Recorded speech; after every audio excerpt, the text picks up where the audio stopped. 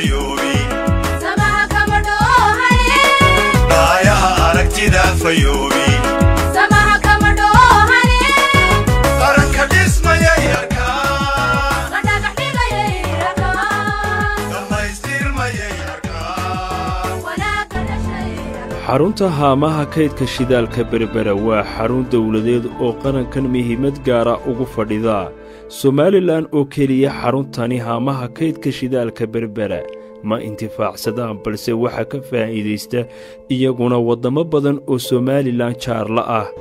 Somaliland nasiibkeedu aada bu wanaagsan markuu ilaahay ku bosishonka ilaahay ku abuuray iyaa bosishon cajaa'iba oo istraatijiya maraakiibta adduunka o dhan u kala joogaa u kala gooshaa ee kanaalka maraya iyo kuwa ka imanaya socda asia iyo kuwa amerikaba kanaalkaa la mara suways istraatijiguna waa berbera halkaasay wada maran gedi. Markaa halkaa waxaa kaaga muuqantaa in dowladaha waaweyn ay danaynayaan somalilan because of berbera ayay ku danaynayaan. Marka ingiriiska oo de markaa maxamiyadan haystay iyaa shan haamood ka bilaabay oo xeradan ka mid ah. Exel nineteen bilaabay shantaa haamood iyaa shidaalka somalilan oo dhan lagu shugi jiray dabeetana loo kala qaybin jiray dabeetana maxaa yimid ruuskiibaa asna ogaaday ila waa meel istraatijiye asna wuu yimid oo afar iyo tan hoomo ka dhiso ya dabeetana sidaasay ku socotay baa maxay de waa dowladdii ugu horreysay ingiriiska waa dowlad xooga waxa ku xigoo ruushku ayana xooga dee maraykankiiba halkiisa soo qaaday asna wuxuu dhisay saddex haamoodoo waaweyn. Dabeetana saddexdii haamood ayana way dhisan yihiin way haagsan yihiin. Haddana ayaa hadhay faransiiskii faransiiskiina total buu ku soo gabadoo asna wuu yimidoo yeer dayactiray haamihii wuu yeer dayactiray markaa saasay haamuhu ay ku dhismeen. Xarunta shidaalka berbera waxaa soo maray maamullo kala duwan iyaga oo maamulkii ugu dambeeyeyna ahaa. Shirkadaha shidaalka keena oo qaarkood maamulkooda ay gacanta ku hayeen balse isagoo madaxweynaha jamhuuriyadda somalilan mudane muuse biixi cabdi danaynaya ahamiyadda ay qaranka somalilan ugu fadhiyaan xarunta haamaha kaydka shidaalka ee somalilan waxa uu gacanta dowladda mar labaad ku soo celiyey koob iyo tobankii bishii siddeedaad laba kun iyo sagaal iyo toban sida oo kale waxa uu digreeto madaxweyne ugu soo magacaabay maareeyaha guud ee xaruntaasi saddex iyo tobankii bishii siddeedaad laba kun iyo sagaal iyo toban.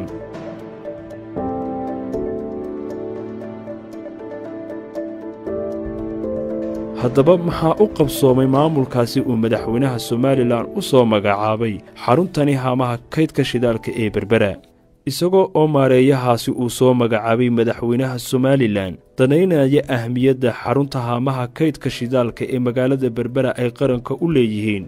Waxa uu markii ugu horraysay taariikhda xaruntani si iskood ah uga dhisayaa laba haamo shidaal oo madaxweynaha jamhuuriyadda somalilan uu dhagax dhigay iyada oo laga dhisayo dhaqaalaha ka soo baxa xaruntaasi oo aanay cidina ka taageeranin dhismaha labadani haamood iyagoo haamahaasi weliba qaadaya labaatan mitir kuyuubig oo ah shidaal.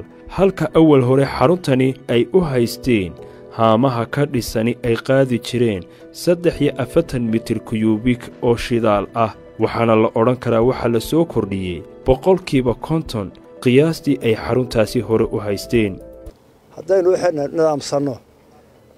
Waxayna tahay inaan wax badan karno. Waxayna tahay caqliga qof waloo berberayo haddaa haamaha waxayd waxaan loo dhowaan karin. Gaaliya camalkeed inaanu dhisi karno iyaanu lacagteed hayno iyaanu dhowaan karno. Caqliyan bay amaan uga cararin. Maynaan moodin in wax loo dhowaan karase laakiin injineerada aqoontooda oo in badan waxaad moodaa dadka aqoontana halkan inay ku dulman yihiin. Waayo aqoontii bay hayaan waxay arkayaan. Laakiin wax u hirgeliyaa bay lahay waa lala fahmi lahay marar badan aniga markii horeysa fikradda lai keenay ee laga wan samayn karaynaa waxa waxaan ka warranay waxa dhaqaalaha. Dhaqaalina waanu buruuf karan inay haamuhu isbixinayaan. Weliba lama taageeraya haamaha. Dowladda dhexaale taageeri mayso. Cidna la odhanaayo lacagna siiya iyagaa isbixiyey ta labaad ururka waxay maynu dhis karayna waa aqoontaa maynu dhahnay. Iyana waxa waaba diyaar. Inta birtee sarun baa loo doonayaa niman ajnabiyahoo aan aqoone iyana waynu hayna waa wax ilaha lagu madiyaa. Meelo badan badan baynu soo dhisan karraa dhinac walba. Wax waloo adag ba wax laga inaynu aqoonteeda hayno iyo weliba dhaqaalaheeda in la heli karo. Marka waxa uun aanu imika baranaynaa inaynu waxayna isu geyno. Caqligeenna adduunkeenna iyo xooggeenna waxaan maynu markaa horumar badan gaarayno. Aad iyo aad baan hambalaynayaa. Mar labaad maamulka amaha muddadaa gaabantaa ku qabtay.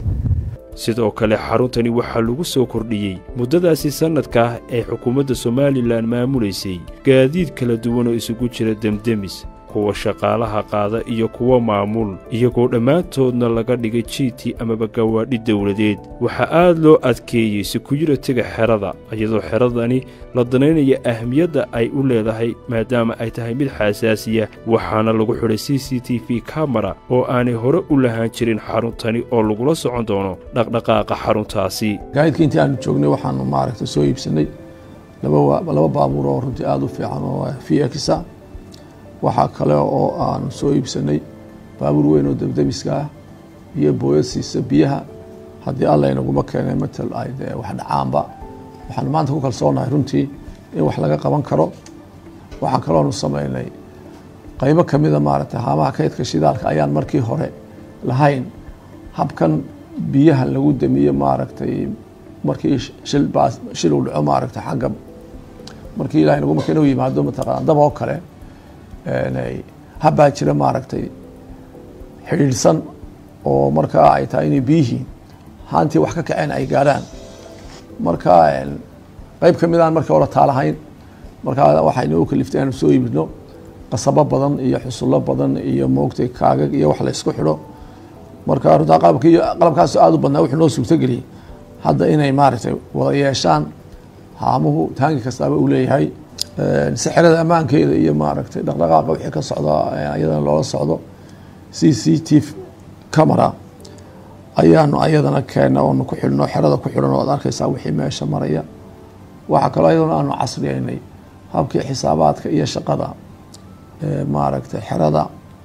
Waanu ka dhignay computerized oo halkii ay maanwal ka ahayd aanu ka dhignay maaragtay hab combyuterka lagala socon karo shaqaaluhu waa lafdhabarta shaqada ee xaruntani waxaana markii ugu horraysay shaqaalaha guud ee xarunta hamaha kaydka shidaalka ee berbera maamulku uu geliyey caymis ka takaaful isaga oo ballan qaadaya caafimaadkoodu. Inaa aanu noqonin mid meel dhexe ku dhaca. Sidoo kale waxaa tababar la siiyey shaqaalaha guud ee xaruntaasi haamaha kaydka shidaalka berbera iyagoo dhammaantoodba qaybaha ay ka kooban yihiin. Tababaradaasi la siiyey. Waxaa laba ka mid a weliba shaqaalahaasi xarunta haamaha kaydka shidaalka berbera loo diray. Waxbarasho dibadeed. Shaqaalaha had iyo jeer waa muhiimo waxaa la idhaahdaa mishiinka nool baa la idhaha shaqada.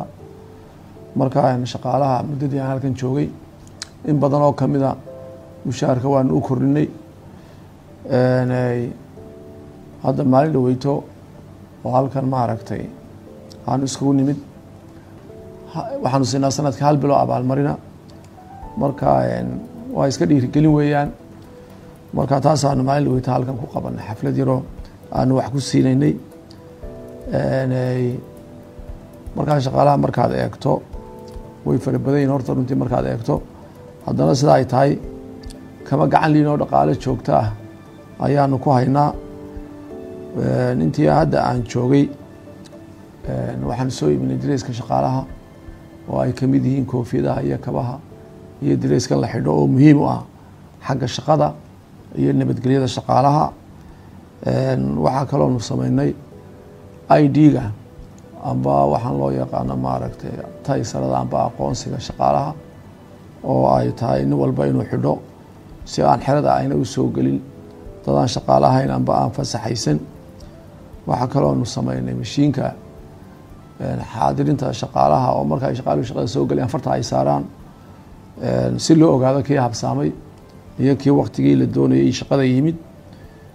Waxa xasuusin mudan shaqaalahana waxay shaqeeyaan waktiga ugu dheer baanu maynaa somalilan lixdii barkaanu soo galnaa labiyo tobankaanu ka rawaxnaa haddana afar saddexdii barkaanu soo galnaa ilaa lixdaanu joognaa waa wakti runtii aada u dheer. Markaa mashiinkaasi haddu wuxuu sheegayaa sida shaqada loo yimaado buu sheegayaa. Waxaa kaloonu inta badan sameynaa tababaro aqoonta shaqaalaha kor loogu qaadayo oo inta badan xerada lagu qabto.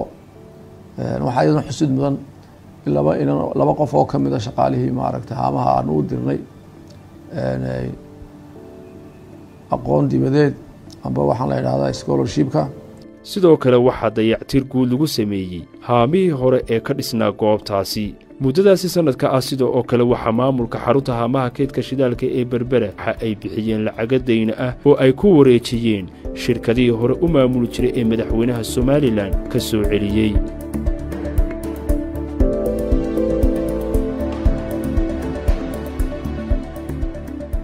Xagga laabka haddii aan idinka sheego. Mashiin aan markii hore oolinoo lagu baaro salfarta oo maaragtay naaftada waxay leedahay maado la yidhaha salfar markaa mashiinkaasi markii hore ma oolin laakiin waanu soo iibinay. Qalabo kaloo fara badan oo qaar la yidhaha hydrometris iyo iyo qalabo kaloo maaragtay qalabka meesha yaalla. Had iyo jeer wuxuu u baahan yahay waxa la yidhaha calibration. Markaa waxaanu had iyo jeer keennaa maaragtay wixii spare baada ee ay u baahan yihiin we are very happy to celebrate one year since the government of Somaliland took over the somalilan management la of this wareegtay maamulka iyo particular petroleum laboratory. laabkani waxa uu guud ahaan khuseeyaa baadhista tayada shidaalka taasoo ay ku jiraan naafatada which badarhoolka iyo shidaalka diyaaradaha petrol, uh, diesel, and jet fuel.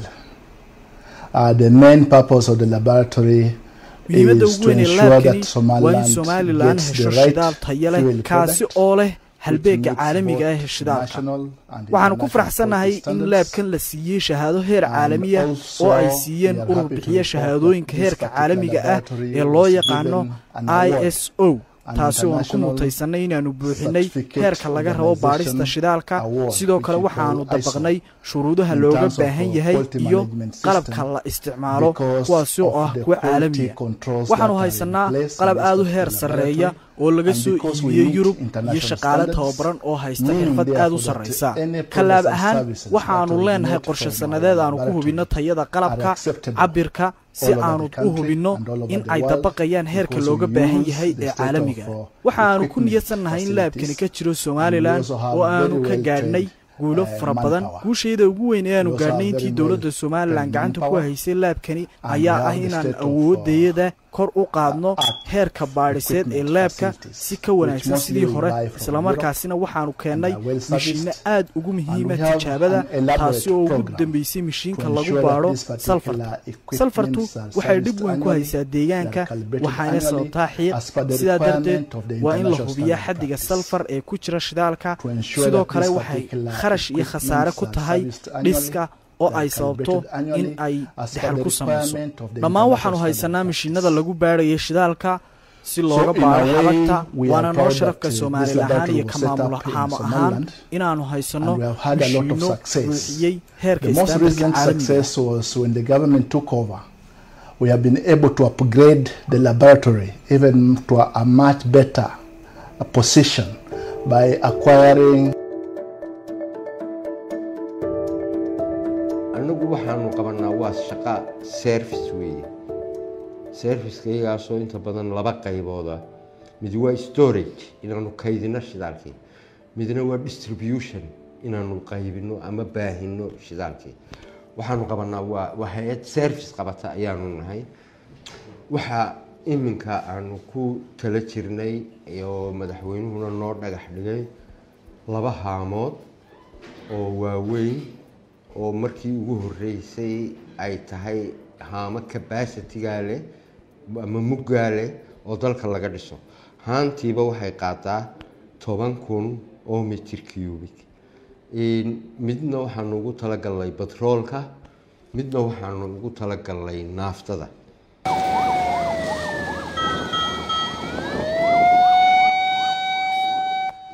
waanu iskaga filanay xagga debdemiska waxaanu leenahay taangi qaada taangi qaada kun mitir cubic oo biyaha aanu ugu talagalnay debdemiska laba berkadood oo iyaguna isku qaada sideed boqol oo mitir cubic waxaanu leenahay laba mishiin oo midkiiba baresharkiisu yahay laba iyo toban baar twelve baar waxaanu leenahay saddex iyo konton hydrant hydrant baanu leenahay oo waxayagoo dhan waa fixed waxaanu leenahay gaari debdemis iyo booyadii kaalinaysay gaariga debdemiska marka xagga security-ga iyo debdemiska waanu iskaga filanay self sufficient waxaanu leenahay storage foom ay xumbadan lagu damiyo dabka. Ayaanu leenahay Een, waxaa kale oo noo dheer generatorradii debdem in dabka.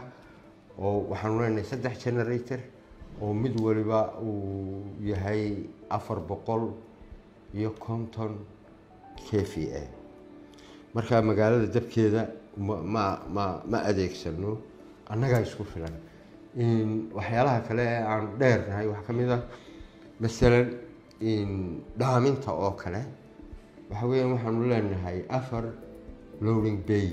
Loading bay waa halkan booyadaha laga dhaamiyo. Afartaa loading bay midiiba waxay leedahay laba gamcood loading arms laga dhaamiyo ayay leedahay. Marka markii keliyahaaba waxaa wada geli kara sideed gaari. Mid waliba capacitygiisi dee uu leeyahay? Waxaa shaqeeya oo iyana dabka soo in shidaalka soo garaaca waxa weeyaan toddoba dayna baa shaqeeya. Oo batrool iyo naaftaba kale leh. Markaa run ahaantii dee waanu ku mintidnaa un jiritaanka.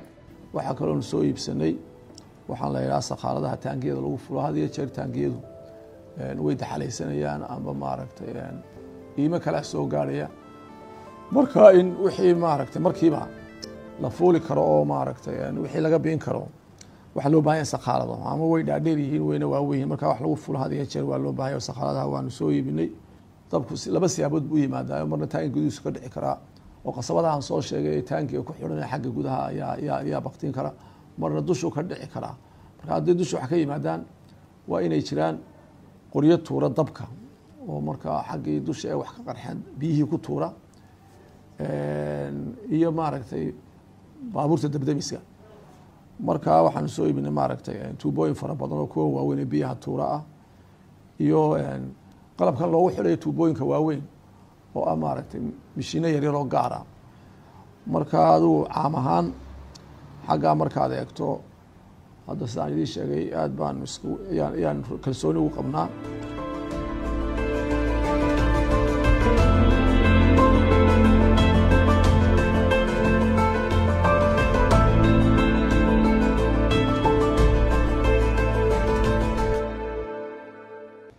Waanu bixinaa trainino ay ka mid yihiin debdemiska oo bishii markaanu mar joogno ayaa waxaa la sameeya waxaa la fire drill.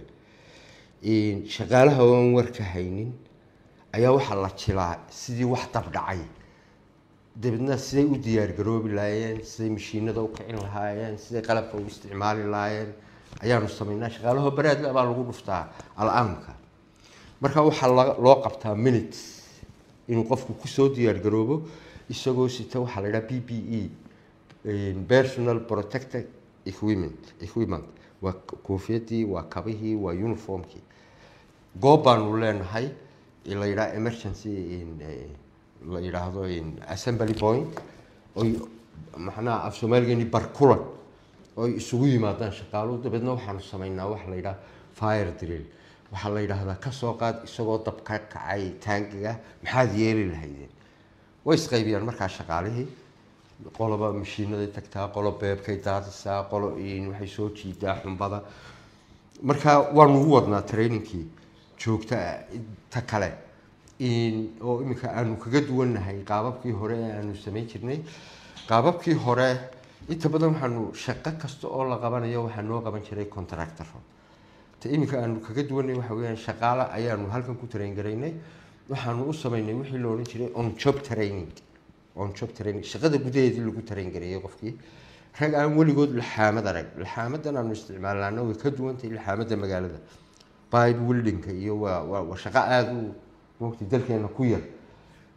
Rag aan weligood markoodii hore masalan wilding aan soo marin laxaamad waanu u train garaynay maanta way laxaamadi karayaan. Wixii dee fudfudud ee yimaado oo dhan.